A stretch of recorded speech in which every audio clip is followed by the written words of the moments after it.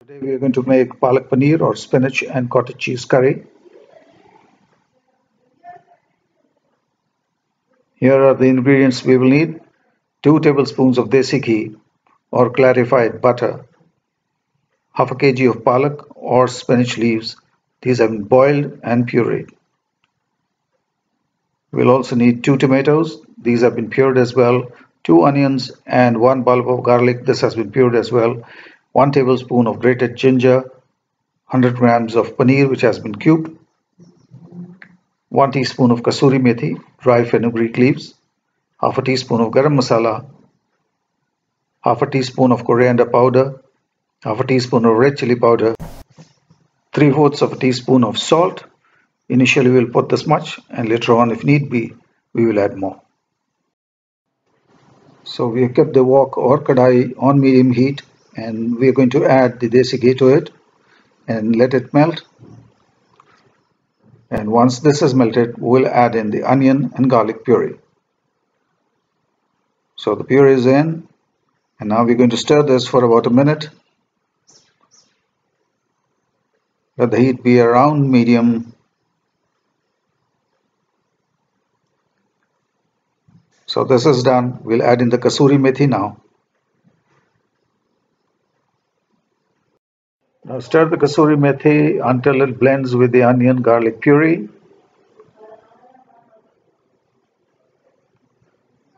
So add the grated garlic now. You can use ginger paste also.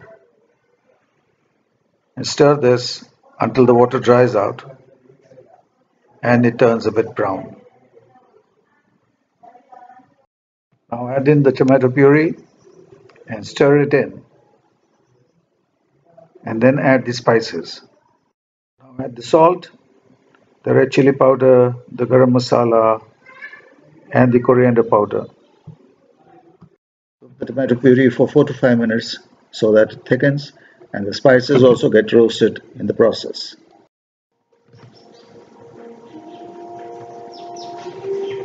The tomato puree is done, add in the spinach puree.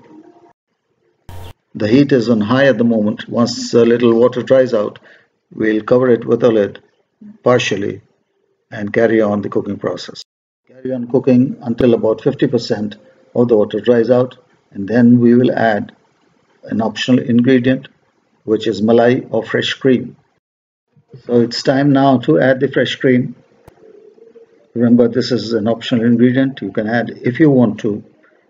Stir it in thoroughly and carry on the cooking process by placing the lid back on and cook it until all the extra water dries out. And now all the extra water has almost dried out. It's time to add the paneer or the cottage cheese.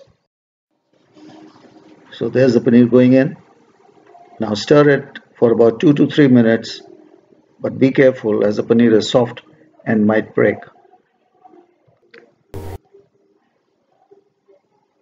And now our palak paneer dish is ready. We'll transfer it to a serving bowl.